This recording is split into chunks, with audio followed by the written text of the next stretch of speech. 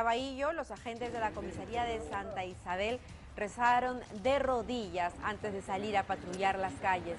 Los policías, aferrados a la fe, pidieron por la salud de sus familiares y por supuesto la de ellos.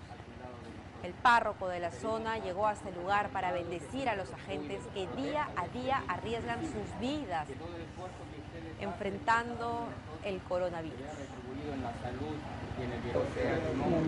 Venga a nosotros reino, hágase tu voluntad en la tierra como en el cielo. Danos hoy nuestro pan de cada día. Perdona nuestras ofensas, como también nosotros perdonamos a los que nos ofenden.